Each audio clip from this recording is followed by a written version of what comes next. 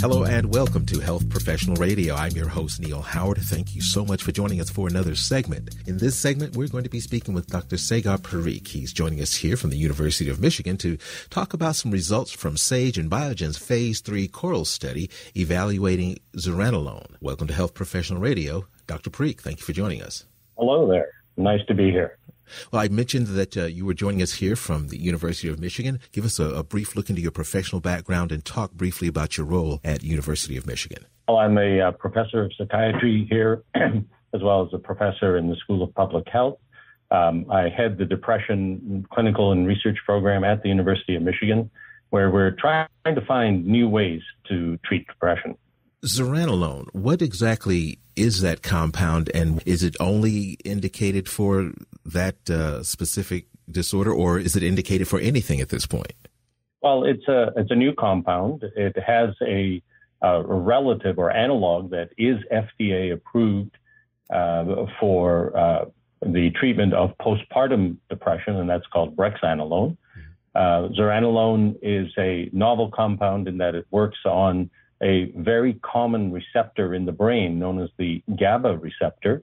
Uh, GABA is actually the main inhibitory uh, uh, molecule within the brain. That is, it soothes you, it calms you down, it, uh, and activating it, um, it can can calm fear, can improve depression or anxiety, uh, can prevent seizures, and uh, it, as I mentioned, it's very widespread throughout the brain. So you know, we've thought about traditional treatments for depression that work on our familiar friends, serotonin and dopamine and norepinephrine.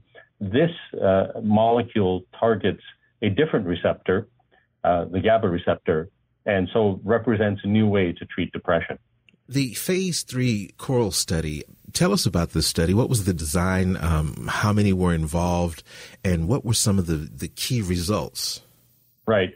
So the coral study is a study to look at whether giving this new compound, zuranolone, with a standard FDA approved antidepressant at the same time, so starting both up front, will help accelerate and improve the response uh, for the treatment of depression.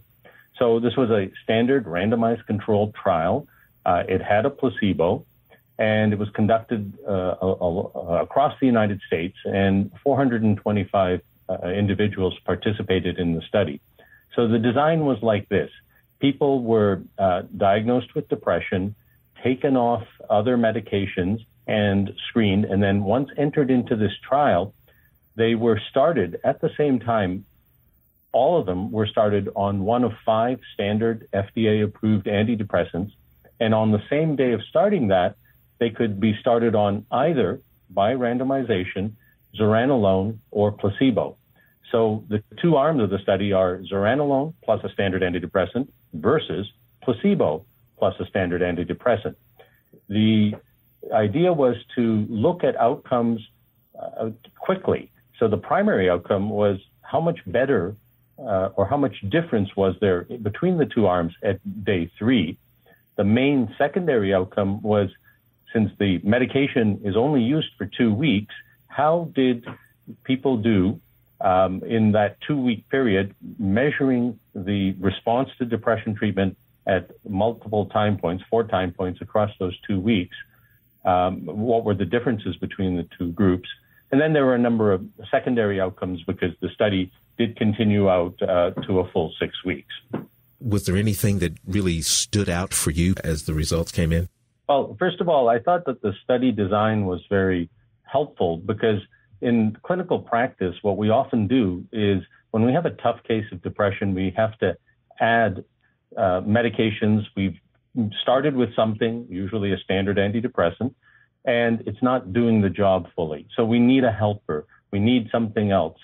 And, and so in everyday practice, it's quite common to be using two or maybe three medications at the same time. So what I liked about this design is it said, well, why not start up front with two medications and see if you do better than if you just start, start off with one standard antidepressant. Um, the other thing that was really impressive for me was that, you know, treating depression is a long game. It often takes multiple trials. It often involves waiting four weeks, eight weeks, occasionally up to 12 weeks to see a response.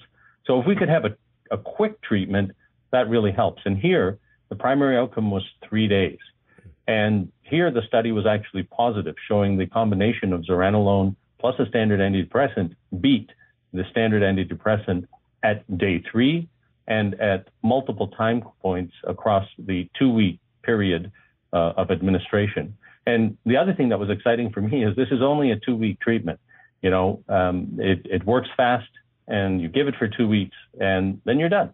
So it's once a day for those two weeks? Yes. Uh, there's a standard dose. Uh, so once a daily dosing, 50 milligrams, and uh, it's done across the two week period.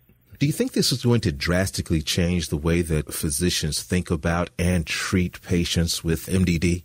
Well, we're on the verge of a major change, and that change refers to uh, not waiting forever for a, a, treatment response. We've seen in the last uh, five to 10 years two or three examples of rapid acting antidepressants. The most impressive and most commonly known example of that is the use of IV ketamine, which works uh, often, you know, in, within a day or two. In order to sustain the response, you usually need it uh, a couple of times a week for several weeks. Um, but the main thing is ketamine delivers a fast response. Uh, there's been recent research that shows uh, a very specialized form of brain stimulation known as transcranial magnetic stimulation administered multiple times per day in one week also pro- uh, produces very impressive results. So we're on the cusp of a paradigm shift. Let's get treatment done and done quickly and help the person quickly. So zuranolone, uh, if it's approved by the FDA, will represent the first oral agent that produces quick results. And that would be fabulous and that would be much needed. And I think, yes, that would be uh, a major contribution to the paradigm shift.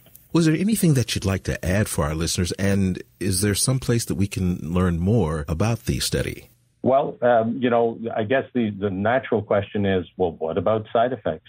Um, was this medicine well tolerated? And the good news is it was pretty well tolerated. The common side effects are things that we are used to dealing with. They included things like nausea, sedation, um, dizziness, and any one of those symptoms did not occur in more than about 25% uh, of, of the sample. So, uh, in addition, there were no particular safety or uh, ex, you know serious adverse event signals. So it didn't seem to generate uh, much in the way of concern that way. And I might add that this is one trial, you know, the, the CORAL study that we're talking about with 425 patients but it's now been studied in several thousand patients across multiple studies. And the safety signal, the, the tolerability signal is similar, and that is it's pretty safe and it's pretty easy uh, to handle. Where can we learn more? Well, um, you know, there have been several publications uh, on this compound. The most impressive publication was one that was in the New England Journal of Medicine um, and was actually a phase two study that first uh, really demonstrated how effective this medication could be. Um, the CORAL study, of course, has only been presented uh, in abstract so far, um, and the publication is still uh, forthcoming. Well, Dr. Parikh, I appreciate you joining us here on Health Professional Radio this morning and lending us some of your time. Thank you very much. It's been a pleasure speaking with you. My pleasure as well. Thank you. You've been listening to Health Professional Radio. I'm your host, Neil Howard, in conversation with Dr. Sagar Parikh. Audio copies of this program are available at hpr.fm and healthprofessionalradio.com.au. You can also subscribe to the podcast on iTunes, listen in, download SoundCloud, and be sure and subscribe to our YouTube channel at youtube.com, Health Professional Radio.